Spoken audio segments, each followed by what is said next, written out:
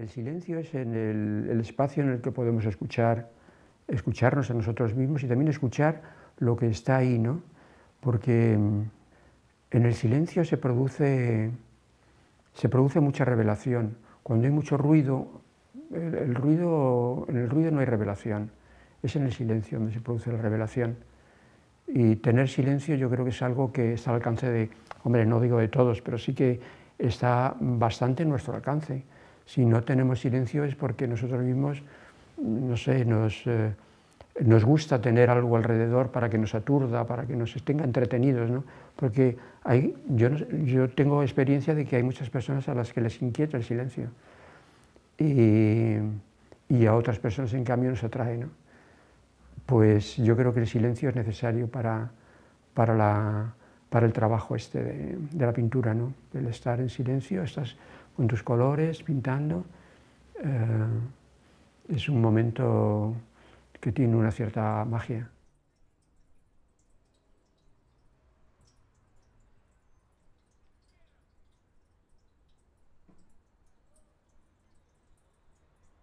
En su momento me interesó mucho Jung y todos sus, eh, todos sus escritos, y yo creo que el arquetipo efectivamente tiene un sentido.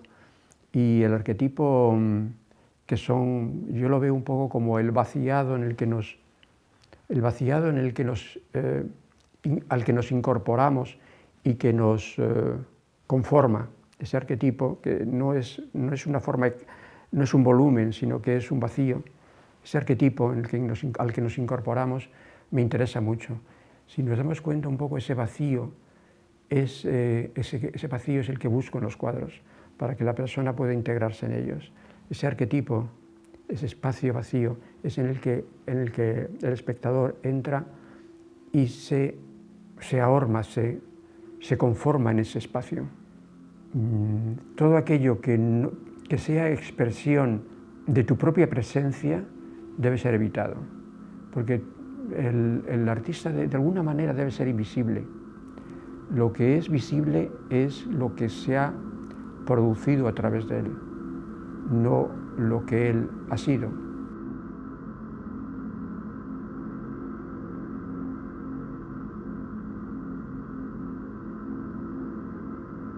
Eh, yo no pinto para ser visto, yo pinto porque tengo que hacerlo.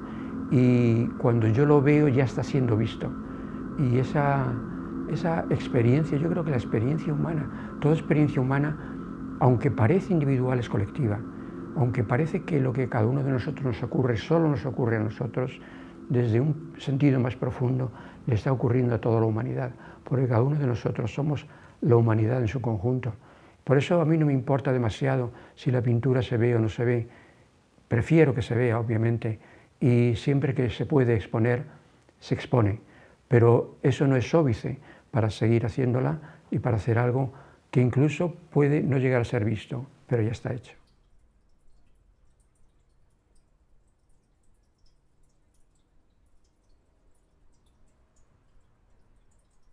Trabajar en la pintura es trabajar con la luz. Toda luz es espíritu, toda luz es espíritu. Todo lo existente en la tierra se basa en la luz, la combinación de luz, agua y tierra, esa combinación de la que emerge todo la luz es esencial, sin luz no existiría nada. Entonces se da por sentado de que esa voluntad de búsqueda de luz también se da en la persona que está contemplándolo. ¿no? Y esa, doble, esa, esa especie de eco, de reflejo que se produce, es lo que es la emoción, llaman emoción estética, yo creo que es la emoción espiritual, ¿no? la emoción que produce cuando te encuentras con una obra importante, con un buen cuadro.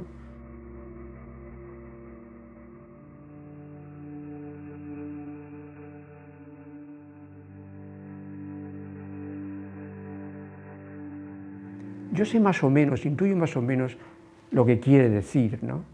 Pero tampoco me importa demasiado.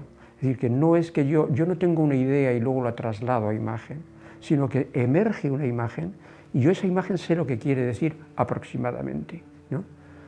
Y simplemente la dejo estar ahí, ¿no? Porque esa es mi función. Mi función es dar a luz esas imágenes que aparecen y que creo que tienen contenido, en general, los cuadros eh, más interesantes son aquellos que tienen un territorio no exactamente de la ambigüedad, pero sí de la polisemia, que tienen, se pueden entender en distintas dimensiones. ¿no?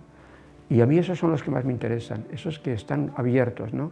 que puedes entrar por un lado o por otro, ¿no? que a cada persona a lo mejor incide en un ángulo de su, de su ser. ¿no? Esos son los ricos, son los realmente ricos. ¿no?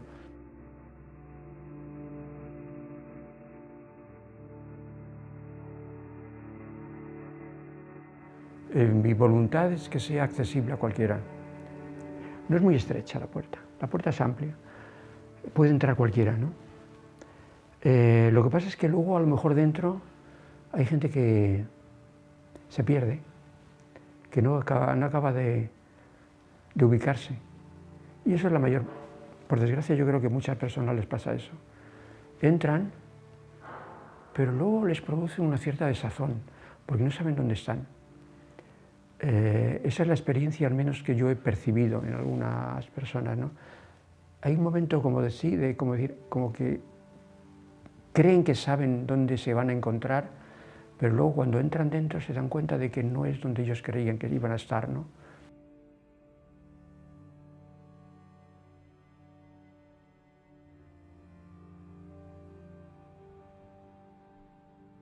A mí me ha gustado siempre contrastar colores de difícil, de difícil encaje. Es un poco esa búsqueda de armonizar lo que aparentemente podía ser contrario. Yo rompo bastantes cuadros. Cuando un cuadro, hay cuadros que nacen muertos, pero hay otros cuadros que mueren en el proceso, no acaban de, no acaban de nacer. Buscar algo que no pueda ser traducido, sino que es en sí mismo lo que es. Y cuando hay un exceso de, es decir, cuando puede ser verbalizado fácilmente, yo creo que ahí hay un punto eh, que debe ser pulido.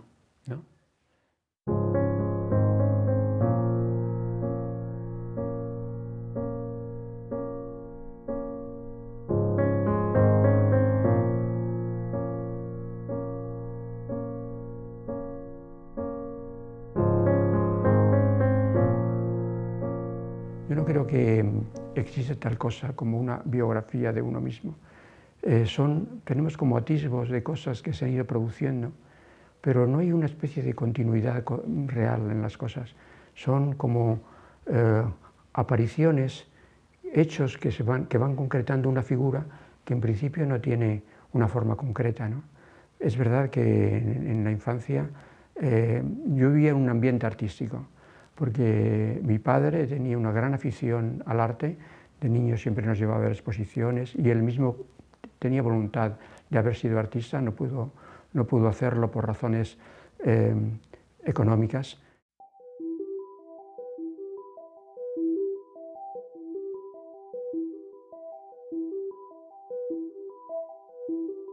Yo he vivido rodeado de los maestros, siempre he tenido libros de arte alrededor y en cada uno de ellos he encontrado eh, fuentes de inspiración o fuentes de, no sé, de, excelencia. Esa, esa, voluntad de alcanzar la excelencia siempre me ha acompañado. Y yo creo que en casi todos los... Eh, no conservo libros de pintores medianos. Casi todos, prácticamente todo lo que hay en, esta, en este estudio o en mi estudio de Santander o abajo en mi casa son libros de artistas eh, que han llegado al máximo dentro de su propio lenguaje. ¿no? Entonces en cada momento he ido absorbiendo, la historia de la pintura la he ido absorbiendo eh, por osmosis lentamente, ¿no? se han ido incorporando en cada, cada uno con lo que tenía. ¿no? Eh, evidentemente siempre he tenido una, una, mayor proximidad con unos que con otros. ¿no? el expresionismo me ha interesado en algún momento, pero, pero menos generalmente me ha interesado más el clasicismo, es decir, aquello que tiene menos de, eh, exhibición de, capacidades o de, o de, fuerza. ¿no? Me interesa más ese, ese, terreno de la estabilidad, eh, de la continuidad, mm, de la profundidad. Y yo creo que eso se ha dado en su máxima expresión, sobre todo en la época de los primitivos en los que todavía la presencia del ego del artista no era tan evidente como lo fue posteriormente, en el que hay pintores maravillosos pero con excesiva presencia de sí mismos. Y aunque es verdad que admira sus capacidades técnicas, sin embargo hay algo en ellos que te resulta un poco indigesto. Y a mí me gustan esos alimentos espirituales que vienen de la gran pintura eh, del gótico primitivo o del, del 400 italiano,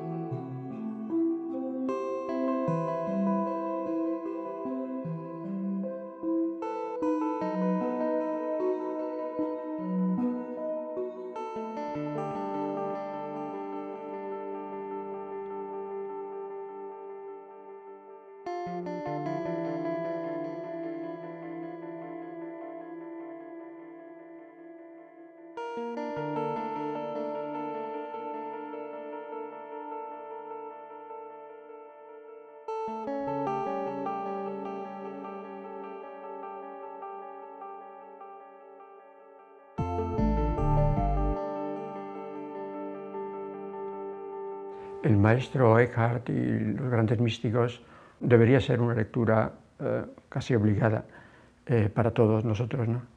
Y, efectivamente mm, la lectura de todos estos eh, grandes maestros ha, tenido tanta influencia como la visión de la, de la pintura más importante. ¿no?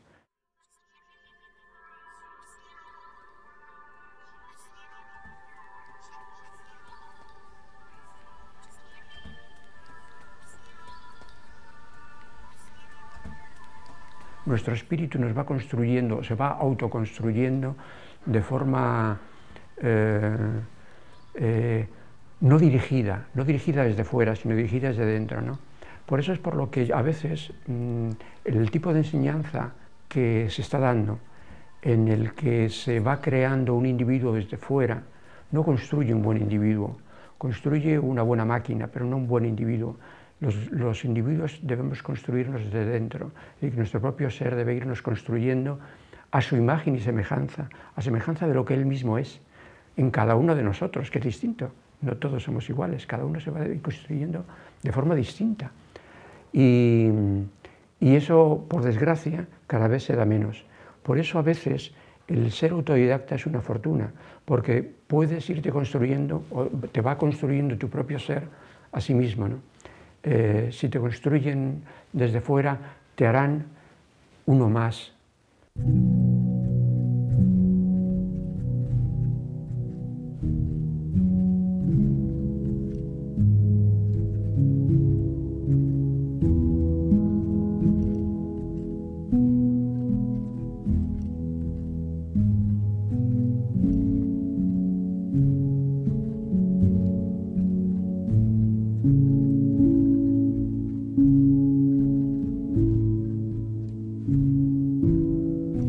Esa duplicidad de pintura y dibujo eh, afortunadamente no ha sido discordante en mi, vida.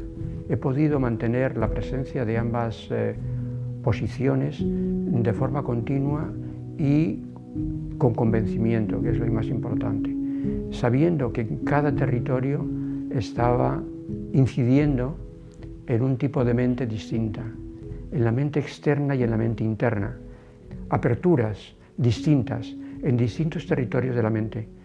Afortunadamente he podido mantener los dos territorios separados y de forma coherente y eso ha sido algo enriquecedor eh, para, mí, para mí mismo y para, por supuesto para el trabajo también.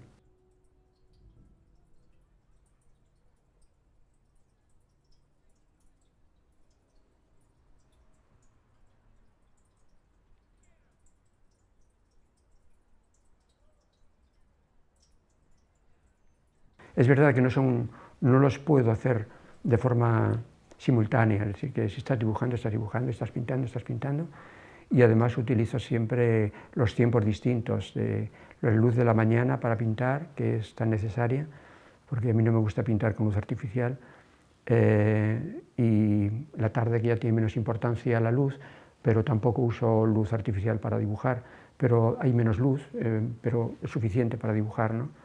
Digamos que se fragmenta el día simplemente por las razones puramente de, intensidad de la luz.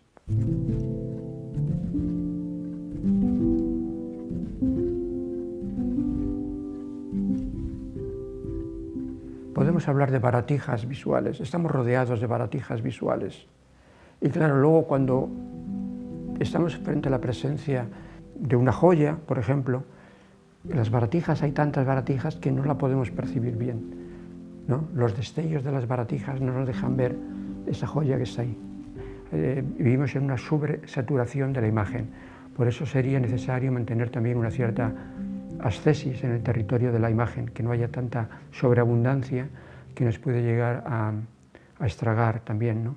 porque hay eh, tal cúmulo de imágenes que nuestra mente está saturada de imágenes, eh, no tiene el espacio para enfocar algo aparentemente está en el mismo terreno de todo lo demás que estamos viendo, aunque no sea así. Yo creo que, mm, insisto, en que quizás la mirada es un órgano moderno. Quizás eh, estemos ahora mismo en un proceso de, de, purificación de esa mirada, o al menos quizás tengamos que entrar en un proceso de purificación de la mirada. Pero claro, hemos encontrado unos medios tecnológicos tan potentes que están eh, de alguna manera achicharrando nuestros ojos, nuestras pupilas. ¿no? las pantallas de los ordenadores o de las pantallas de las televisiones están degradando nuestra, nuestra mirada. Eh, son demasiado penetrantes, son demasiado incisivos, ¿no? no nos dejan espacio, nos entran dentro antes que nosotros podamos entrar en ellos. Entonces nos entran y nos devoran, nos devoran el interior. Yo creo que uno de los problemas de, nuestra ceguera actual es esa ceguera visual inducida por esas luces tan penetrantes.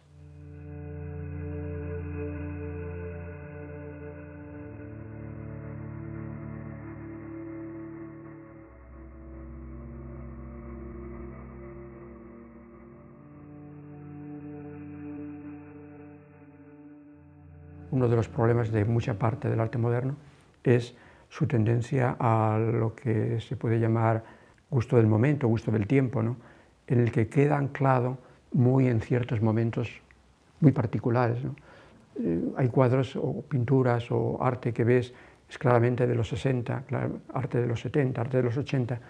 Eso crea una cierta inseguridad, pero cuando lo que buscas no es ese gusto eh, del tiempo, sino que lo que estás buscando es la plasmación de lo eterno, ahí tienes menos angustia temporal, ¿no?